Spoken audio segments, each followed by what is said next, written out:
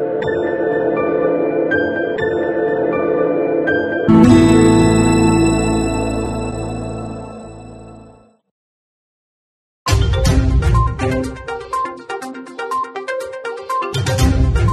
अंतर्राष्ट्रीय संस्था श्री विंग्स द्वारा इंटरनेशनल वुमेन वीक के तहत आयोजित कार्यक्रम में मुख्य अतिथि के तौर पर जिला कलेक्टर नन्नूमल पहाड़िया व एसपी तेजस्विनी गौतम शामिल हुए। उन्होंने कहा कि स्वास्थ्य एवं स्वच्छता संबंधी जागरूकता के लिए संस्था द्वारा शुरू की गई मुहिम सराहनीय है। एसपी तेजस्विनी गौतम ने कहा कि महिलाओं को अपने स्वास्थ्य की पहली प्राथमिकता होनी चाहिए। महिलाएँ बेहतर सैनिटरी नेपकिन का इस्तेमाल करें। बुखार होता है, खांसी होती है, हाथ में से कहीं खरोच आती है, खून निकल जाए तो हम डॉक्टर के पास जाते हैं। जाते हैं? तो हम उन बीमारियों के बारे में क्यों बात नहीं करते, या उस अंग के बारे में बात क्यों नहीं करते, जो हमारी शरीर का ही एक हिस्सा है, और जिससे होने वाली अगर उसकी हम टेक केयर नहीं करते हैं, हमारी आँखें कमज़ोर हो जाती है तो चश्मा लगाते हैं। हमारे को खरोच हो जाती है तो हम उसको बैंडेज लगाते हैं, पट्टी करते हैं। बुखार होता है तो हम दवाई लेते हैं।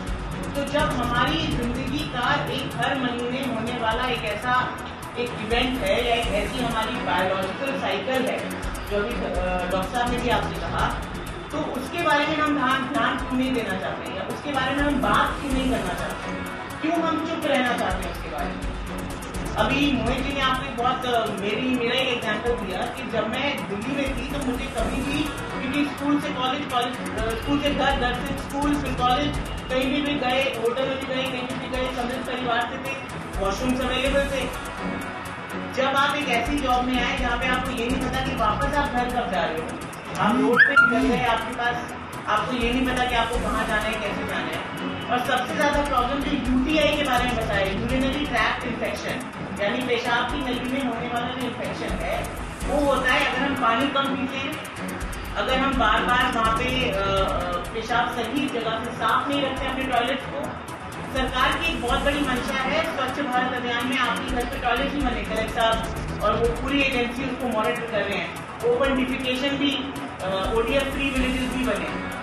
लेकिन मैं आपको एक स्टडी के बारे में बताऊँगी। और ये मैं बताऊँगी कि हम ये एक स्टडी की गई महिला पुलिसकर्मियों के ऊपर। अस्सी प्रतिशत को यूरिनरी ट्रैक इन्फेक्शन था। मेन कारण कि उनकी लंबी आवर्स की ड्यूटी है बाहर, फ़ील्ड में, वो कहीं वॉशरूम नहीं जा पाती तो उन्होंने पानी पीना बंद कर दिया। और ये मैंने अपने साथ महसूस किया, क्योंकि आप कहीं बाहर नहीं जा सकते, आप पानी पिएँगे तो ऑब्वियसली आपको वॉशरूम जाना पड़ेगा। तो वॉशरूम नहीं है तो पानी पीना बंद कर दो। क्योंकि ड्यूटी तो अवॉइड कर नहीं सकते आप लोग। मतलब हम लोग तो ड्यूटी तो आपको करनी है कभी कभी बारह घंटे की भी होगी, कभी सोलह घंटे की भी होगी। मुझे ध्यान है, एक बार इलेक्शन से मैंने छप्पन घंटे लगातार घर से बाहर ड्यूटी करी है वहीं पे बैठे हुए हैं। वहीं पे ठंड के समय में और ठंड के समय में आप संस्था के संस्थापक मदन मोहित भारद्वाज ने कहा कि इस मुहिम के तहत वंचित महिलाओं को अंडर गारमेंट दान किए जाएँगे। इसकी शुरुआत अलवर शहर से की गई है। डॉक्टर उर्वशी गोयल ने महिलाओं को मासिक धर्म व हाइजीन के साथ अंडर गारमेंट्स व स्वच्छता उत्पादों के उपयोग के बारे में जानकारी दी। संस्था की चेयरपर्सन एंका वर्मा व अतिथियों ने महिलाओं को hand bag sanitiser, sanitary pad आदि वितरित किए। इस मौके पर राठ स्कूल की महिला शिक्षकों ने एसपी का सम्मान किया। कार्यक्रम में एसपी मुख्यालय Sarita Singh, city CO Rajendra Arya NAB थाना अधिकारी राविंद्र कविया, पार्षद हित राम आदि मौजूद रहे। देखिए, आज इंटरनेशनल वीमन वीक के अवसर पर ये कि महिलाओं को जागरूक करने के लिए, उनके स्वास्थ्य के प्रति उनको अवगत करवाने के लिए कार्यक्रम आयोजित हुआ है। निश्चित रूप से ये कि अच्छा कार्यक्रम है। और आप लोगों की जानकारी में होगा कि राजस्थान सरकार ने तो राशन कार्ड में महिला को मुखिया बनाया हुआ है। महिलाओं के लिए अभी बजट में काफ़ी प्रोविजंस किए गए हैं। और बाकी राज्य सरकार निरंतर रूप से महिलाओं के उत्थान के लिए लगातार प्रयास कर रही है। एक्चुअली आप देखेंगे महिलाओं को उत्थान करने के लिए अलग से कस्तूरबा गांधी आवासीय विद्यालय हैं को एजुकेशन है, गर्ल्स स्कूल है, गर्ल्स कॉलेज हैं। मतलब काफ़ी प्रयास राज्य सरकार की तरफ़ से किया जा रहा है। महिला स्वस्थ हो, इसके लिए आज उनको काफ़ी इनकी जो इंटरनल बीमारीज हैं, उनके विषय में अवगत करवाया गया है।